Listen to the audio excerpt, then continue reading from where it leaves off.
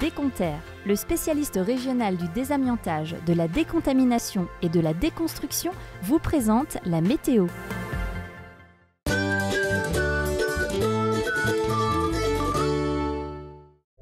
Bonjour à toutes et à tous, on se retrouve tout de suite pour votre point météo de ce jeudi 30 mai. On regarde tout de suite ce que nous réserve le temps.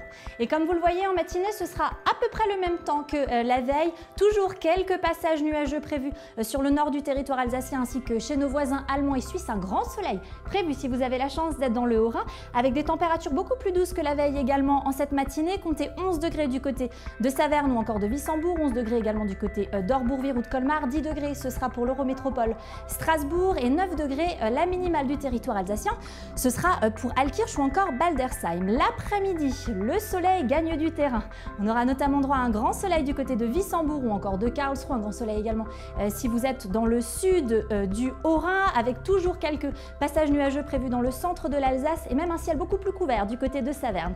Des températures qui grimpent nettement en après-midi, comptez 20 degrés du côté de Wissembourg, 22 pour Strasbourg, 21 degrés pour Colmar ou encore 22 du côté de Mulhouse. On jette un petit coup d'œil sur votre météo de vendredi maintenant et regardez si vous avez la chance de faire le pont. C'est un grand soleil prévu pour cette journée de vendredi. Pas de nuages à l'horizon et des températures très clémentes entre 22 et 23 degrés en Alsace jusqu'à 24 degrés dans la région du Bade-Württemberg, 22 degrés si vous êtes dans le nord de la Suisse. Jeudi, nous serons donc le 30 mai et ce sera donc l'ascension. Euh, le soleil se lèvera à 5h33 pour se recoucher à 21h20. On gagne encore 2 minutes de soleil. Voilà, je vous embrasse et je vous retrouve très vite sur Alsace 20. Salut